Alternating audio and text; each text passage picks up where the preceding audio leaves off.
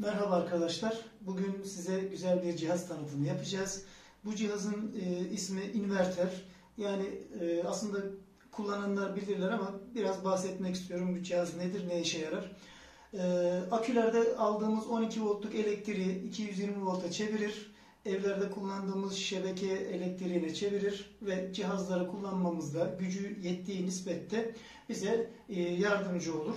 E, inverter dedik. E, bunların kendi aralarında sınıfları vardır. Modifiye sinüs ve tam sinüs diye kendi aralarında iki, iki çeşidi vardır. Daha önceki videolarımızı takip ettiyseniz bir önceki e, videomuzda biz e, bunun modifiye sinüs olanını tanıtmıştık sizlere. E, şu anki tanıtacağımız cihazda e, tam sinüs dediğimiz yani saf sinüs diye geçer tam sinüs dediğimiz cihazdır. Bu e, çoğunlukla tavsiye edilen fiyatı modifiye sinüse göre biraz daha pahalıdır ama tavsiye edilen genelde insanların e, profesyonel olarak kullanan insanların tercih ettiği bir cihazdır bu. Şimdi e, modifiye sinüs, tam sinüs bunları nasıl ayırt edeceğiz, nasıl anlayacağız? Bunu anlamak için e, şurada görünen bir şekil var. Bu modifiye sinüslerde böyle köşelidir. Köşeli bir şekil e, çizilir. Ama burada dalgalı. Bunun çalışma sistemini gösteriyor ve 2000 wattlık bir e, güce sahip olduğunu gösteriyor bu cihaz bize. Bir de e, bu cihazlar sonuçta yurt dışı cihazları ve yurt dışından geldiği için e, püresine diye yazıyor. Yani püre saf sinüs demek ve bu işin e, modifiye sinüs mü, saf sinüs mü olduğunu buradan anlamamızı sağlıyor. E, 2000 wattlık bir cihaz bunun çıkabileceği pik gücü yani en yüksek güç 4000 watt olarak e, cihaz bize gösteriyor. Bu inverter kullanacağımız zaman bizim dikkat etmemiz gereken e, bir şey var. Şu an benim elimde kullandığım bu cihaz 24 wattlık sistemlerde, 24 voltluk sistemlerde çalışan e, bir cihaz bu. 12 voltluk olanı da var. Daha önceki tanıttığım benim modifiye sunusu 12 voltluk cihazdı. 24 voltluk bir cihazı kullanabilmemiz için iki tane akü olması lazım en az. İki aküyü birbirine seri olarak bağlayarak biz bu cihazı çalıştırabiliriz. Yani bu cihaz tek aküyle çalışmaz. Onun için e, bunun seçimini, bunun tercihini iyi yapmamız lazım. Şimdi modifiye sinüs inverter ile saf sinüs inverter arasında ne fark var? Bir de e, bunu bahsedelim. Ona göre insanlar seçimlerini yapabilirler. Modifiye sinüslerin fiyatları uygundur. Yani e, daha 2000 watttan daha yüksek wattları bile mesela buna göre çok daha uygun fiyata alınabilir. Ama bu işi ciddi olarak yap yapmak isteyen, profesyonel olarak yapmak isteyen arkadaşlara bizim tavsiyemiz kesinlikle saf sinüs almalıdır. Ee, evlerde kullanacağı cihazlara daha verimli çalışmalarını sağlaması için e, mutlaka saf sinüs almamız lazım. Bunu bir kere alacağız. Alırken e, mutlaka wattına dikkat etmemiz lazım. E, evde kullanacağımız veya herhangi bir bağ evinde veya bir yazlıkta veya kamp yerinde nerede olursa olsun kullanacağımız e, aletlere göre bu watt gücünü ona göre belirlememiz lazım. Yani e, 2000 wattın altında bir cihaz alırsak evlerde kullandığımız cihazların birçoğunu kullanamayız. Ama bu 2000 watt e, genel manada hepimizin evlerde kullandığı cihazları çalıştırabiliyor. Ki ben e, bayağı bir zamandır bu cihazı kullanıyorum. Buzdolabından tutun, elektrik süpürgesine, matkap motoruna, spiral taş motoruna, yani e, buna benzer birçok kettle bile yani su ısıtıcısını bile çok rahat bir şekilde bu cihaz çalıştırıyor. Yeter ki beslemesi düzgün olsun. Yani aküden aldığı elektrik sağlam olsun. Düşük olmasın. Düşük olduğu zaman cihaz kendisini korumaya alıyor ve elektriği kesiyor. Bunun kendi bir güvenlik önlemidir. Yüksek voltajlar geldiği zaman veya düşük voltaj geldiği zaman cihaz e, kendi koruması vardır. Kendisini korumaya alır. E, zorlandığı zaman sinyal verir. Sesli olarak burada ışığı yanar, kırmızı bir ışık yanar kendisini e, e, belli eder zorlandığını. Bunu da anlayarak biz de ona göre kullandığımız cihazları ona göre ayarlayacağız.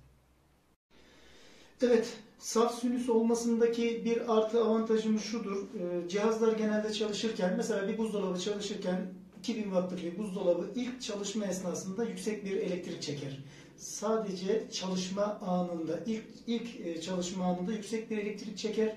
İşte buradaki pik gücü dediğimiz 4000 watt işte bunun içindir. O ilk çalışma esnasında cihaz 2000 watt'tır ama e, yüksek bir akım çeker. Sonra rolantiye, araba gibi rolantiye döner cihaz. Onun için saf sinüs olmasındaki avantaj budur. Cihazları çalışma esnasında e, arıza ver, vermesini engeller, daha verimli çalışmasını sağlar. Ama aynı verimi modifiye sinüs cihazlarda alamayız. Bu cihazda çalıştırın birçok cihazı 2000 watt olmasına rağmen modifiye sinüste çalıştıramayız. Bu sebebi de budur. Çalışma esnasındaki çektiği elektriği e, bu cihazları kaldırabiliyor, tolere edebiliyor. Vermiş olduğu akımın e, şiddetiyle, derecesiyle ona göre o cihazları rahat bir şekilde çalıştırabiliyor. Şimdi bu cihazın e, orta kalite bir cihazdır. 2000 watt'tır dedik ama yurt dışından geldi. Çin malı. Genelde zaten cihazların çoğu Çin malıdır. Burada e, cihazın 220 volt olarak çalıştığını artı 24 volt olarak e, beslenmesi gerektiğini e, yazıyor. Bu tarafta ne var? Bu tarafta normal buradan elektrik almamız için e, çıkışımız vardır. Burada bir USB girişi yapmış. E, isterseniz burada tabii e, işte cep telefonunu, tabletinizi e, şarj edebilirsiniz. Burada değerlendirebilirsiniz. Açma kapama düğmesi koymuş. İşte şu yeşil yandığı sürece her şey normal demektir. E, cihazın zorlandığını yani kendi değerinden yüksek bir elektrik çektiğini e, vermesi, uyar, uyarı verdiği e, yer burasıdır. İşte burada kırmızı ışık yanar. Kırmızı ışık yanmasıyla beraber aynı zamanda e, sesli olarak da şöyle çok rahatsız edici bir sesi vardır. Bu sesle de artık bu cihazın e, zorlandığını veyahut da akülerin zayıfladığı zaman, gerekli elektriği çekemediği zaman aynı şekilde yine burada ışık yanar ve sesli olarak uyarır. E, belli bir oranın altına düştüğü zaman da cihaz kendini kapatır, elektriği keser. Evet burası çıkış bölümü dedik. Burası da giriş bölümü. Şimdi buradaki e, kablolar çok önemli. Dikkat etmeniz gereken şey şudur. Akülere bu cihazın ne kadar yakın olursa, kablo mesafesi ne kadar kısa olursa o kadar iyidir. Şimdi 24 e, voltluk yani iki tane aküyü birleştirerek biz buraya e, elektrik e, ver, voltaj verdiğimizde ne oluyor? Amperaj yükseliyor. Amperaj yükseldiği için de kabloların kuvvetli olması lazım.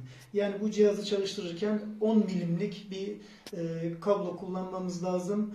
Önemli olan bu. Bir de mesafe ne kadar kısa olursa o kadar verimli olur. Kabloların ısınma oranı daha da azalır. İki tane güzel soğutucu e, koymuşlar. Yani bu cihaz e, günlerce, haftalarca aktif bir şekilde çalışabilir. Kendi kendini soğutur. Hiçbir sıkıntı çıkartmaz. Rahat bir şekilde biz elektriğimizi kullanmamıza vesile olur. Evet son birkaç bir şey daha sizlerle paylaştıktan sonra ben videomu sonlandıracağım. Şimdi 24 e, voltla çalışan bir cihazdan bahsettik. Aynı güçte 2000 watt gücünde 12 voltluk cihazlar da var. Bu nedir? Bu tamamen sizin tercihinizle alakalıdır. Ben 24 volt tercih ettim. İnternetten yaptığım araştırmalarda bu şekilde daha sağlıklı bir e, elektrik üretimi olacağını, e, 220 volta daha rahat çevireceğini e, öyle bir paylaşımlar vardı. Ben bunu tercih ettim ve bu şekilde de gayet de memnunum. Dediğim gibi mutlaka bağlantılara dikkat etmek lazım. İki akü olmadan 24 voltluk bir sistemi çalıştıramazsınız. Ve aynı zamanda şu da çok önemli. Ee, bu cihazı tercih ettiğiniz zaman 24 voltluk bir cihaz tercih ettiğiniz zaman panellerinizi de buna göre ayarlamanız lazım. Yani 24 e, voltluk aküyü dolduracak şekilde panel almanız lazım.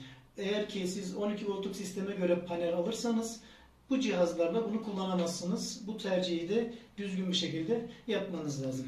Evet, e, son olarak söyleyeceğim şey eğer ki uzun vadede kullanmak istiyorsanız en düşük alacağınız e, güç 2000 watt olması lazım. Ama bunların 3000 watt, 2500 watt olanları da var. Saf sinüs olarak. E, bunlara da imkan yeterli olduğu sürece bunları da alıp çok rahat bir şekilde kullanabilirsiniz. Ben e, bunu yurt dışından almadım ama yurt dışı sitelerinde de bu cihazlar satılıyor. Oradan da e, görebilirsiniz. Hatta aynı markalar, aynı modeller oralarda da var. Biz garantili olsun diye, e, faturası olsun diye yurt içinden aldık. E, siz de ona göre, kendi kesenize göre, bütçenize göre değerlendirebilirsiniz.